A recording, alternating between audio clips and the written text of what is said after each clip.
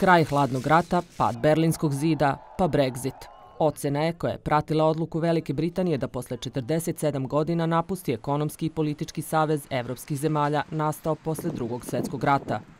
Velika Britanija je prva zemlja koja je napustila Uniju, koju čini 27 država članica i više od 440 miliona stanovnika.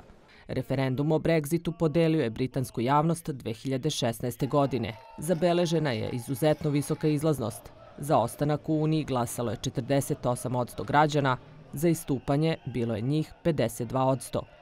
Nedavne ankete pokazuju da 60% Britanaca misli da je Brexit prošao očajno ili gore od očekivanog. 60% ljudi kaže da je Brexit bio loša stvar, ali kad ih pitate kako bi glasali, glasali bi isto, glasali bi za, za, iz, za izlazak. Znači, podeljenost postoji. Engleska i Wales su glasali za izlazak, a Škotska i Severna Irska su glasali za ostanak. I otprilike ta, ta, ta činjenica se do danas nije, nije promenila. Nestašice hrane i goriva, nedostatak radnika, skok cena nekretnina umjesto obećenog pada. Neke su od karakteristika onoga što se dešava u Britaniji nakon Brexita. Uticaj korone je siguran, ali ne i ključan, jer uporedni podaci pokazuju da je glavni uticaj smanjenje ekonomske razmene s Evropskom unijom. Prema Eurostatu, britanski izvoz u Evropsku uniju opao je za skoro 15 u prvih 10 meseci prošle godine. Umesto obećanog smanjenja birokratije, Britanija uvodi dodatne zahteve za uvoz iz Evropske unije. Za sada nije ostvareno ni obećanje o globalnoj Britaniji, prema kojem je bez balasta članstva u Evropskoj uniji ta zemlja trebalo da pospeši trgovinu sa ostatkom sveta. Prema procenama, do 2030. svakog građanina Britanije Brexit će koštati preko 5000 evra. Pa nije se desio trgovinski rat jer ipak na kraju je sklopljen taj sporazum o slobodnoj trgovini, ali mi smo povremeno svih ovih godina mogli da, da vidimo, a sada naročito ove poslednje, poslednje dve od formalnog izlaska, da vidite ogromne kolone kamiona, pa u doveru su redovi, pa svi se, svi se žale, pa se žale farmeri, pa ne ide dobro e, trgovina poljoprivrednim proizvodima, ali nije došlo do rata, ali poremećaja svakako ima, jer sad je Ujedinjeno kraljevstvo treća zemlja za, za Evropsku uniju.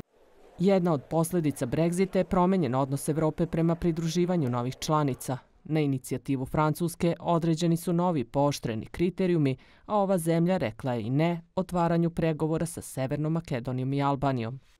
Evropska unija je iz krize u krizu ulazila od eh, one finansijsko-ekonomske, pa posle eh, došla migrantska, pa Brexit, pa na kraju sad COVID, tako da svaki put se proširenje sklanjalo sa dnevnog reda. Eh, da li je sam Brexit tome 100% doprineo? Nije. To je već jedan trend koji traje od, pa najmanje od prijema Hrvatske od 2013. godine, kad je kada su rešili da pauziraju sa proširenjem do kada, vidjet ćemo.